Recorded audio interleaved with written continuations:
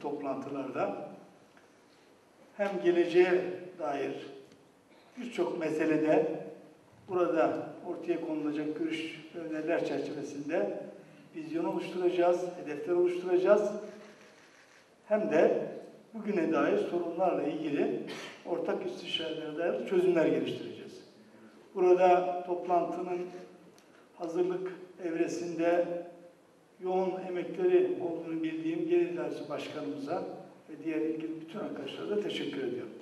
Toplantının Gelir İdaresi Başkanlığımıza, bakanlığımıza, ülkemize, milletimize hayırlar getirmesini temenni ediyorum.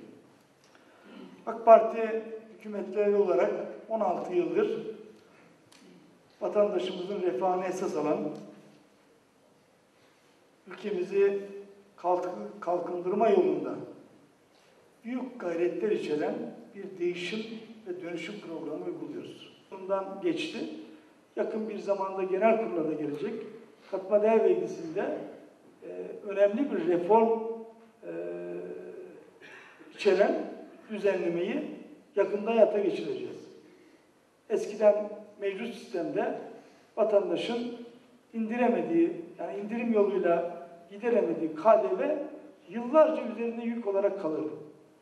Şimdi biz diyoruz ki en fazla 12 ay içerisinde indiremediyseniz bunu devlet olarak size iade edeceğiz.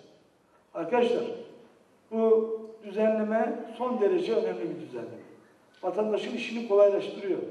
Onun üzerindeki yükü alıyor. Vatandaşı nefes aldırıyor. Onun üzerindeki finansman yükünü azaltıyor.